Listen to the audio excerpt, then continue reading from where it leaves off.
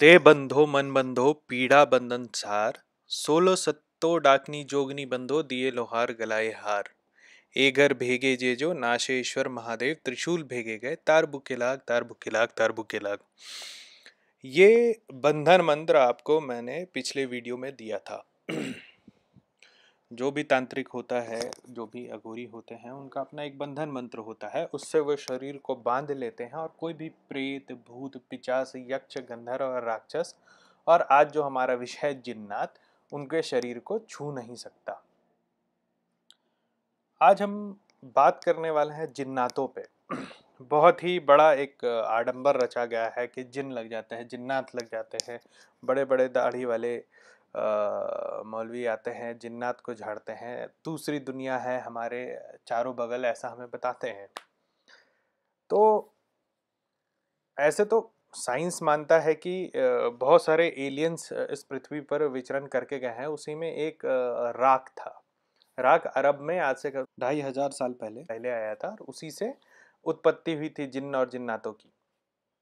लेकिन मुसलमान मानते हैं कि इब्लिस एक जिन थे, जो कि उनके अल्लाह, जो अल्लाह मतलब जो भगवान है, जो हमारे परम पिता परमेश्वर है, क्रिश्चियंस में और हम लोगों में पर ब्रह्म है, उनकी सेवा में लगे हुए थे। तो ये इब्लिस जिन, जिन्नात थे और जिन्नात आग से बने हुए थे। तो इंसानों के बनने से बहुत समय पहले से ही जिन्नात इस पृथ्वी पर विचरण करते थे। जब इंसानों को बनाया गया तो इब्लिस गुस्सा गया और वो शैतान हो गया।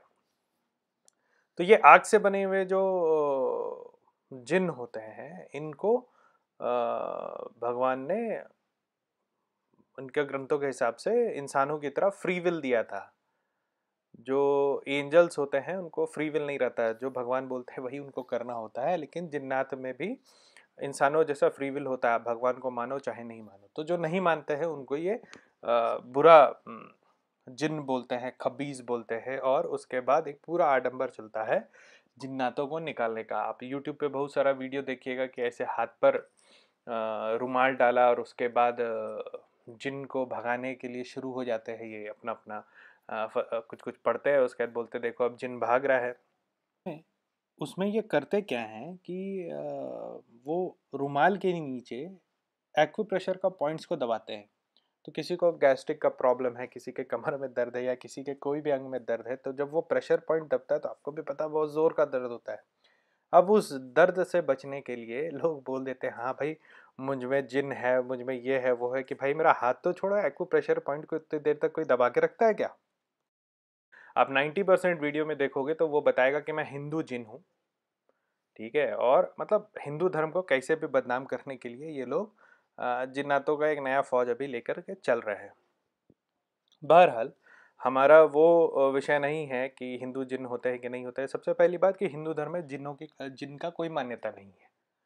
हम मानते हैं कि जैसे इंसान है, वैसे ही यक्ष हैं, गंधर्व है, राक्षस है, ब्रह्म राक्षस है, बेताल है कूसमांड है, भैरव है हाँ बहुत सारे गण हैं इंसानों की तरह ही जिसको हम नहीं देख सकते हैं।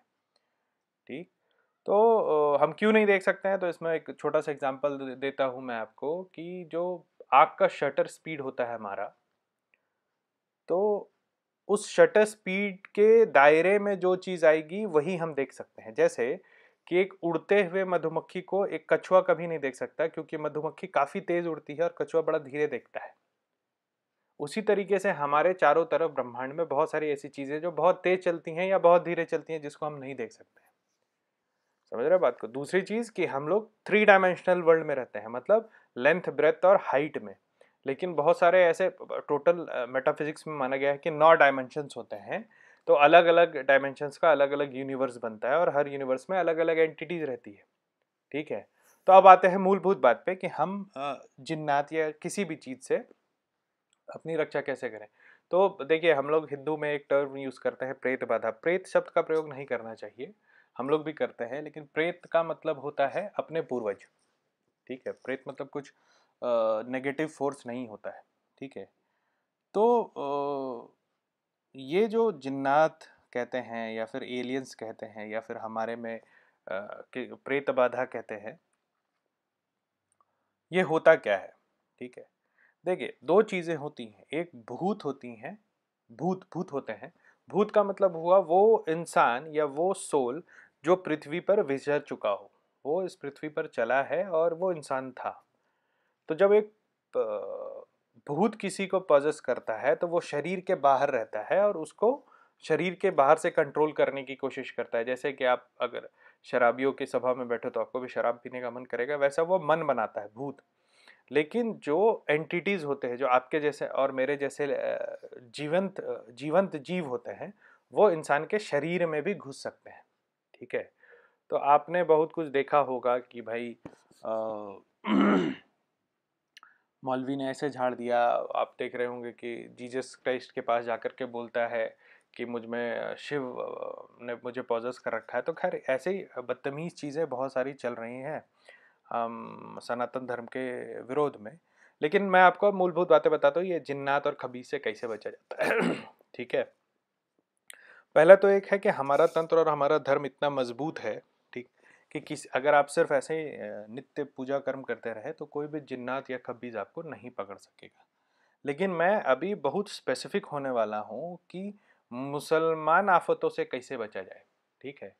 इसका सबसे पहला बात यह है कि आप लोग, या आपके घर में जो भी महिलाएँ हैं, उनको कभी बाल खोल करके बाहर या इत्र लगा के बाहर घूमने से मना कर, करिए, ठीक है? दूसरा, किसी भी पेड़ के आसपास में या किसी दीवार जहाँ दो दीवार मिलता हो, ऐसी जगह पर आप कभी भी मूत्र विसर्जन ना करें या कोई भी गंदगी ना फैलाएँ, क्योंकि ये जो जगह होता है, ये दो डायमेंशन के मिलने का जगह होता है, तीन डायमेंशन के मिलने का जगह होता है, और यहीं से ये, जो दूसरी दुनिया के छोटे जीव होते हैं, ये हमारे दुनिया में प्रवेश करते हैं, ठीक है?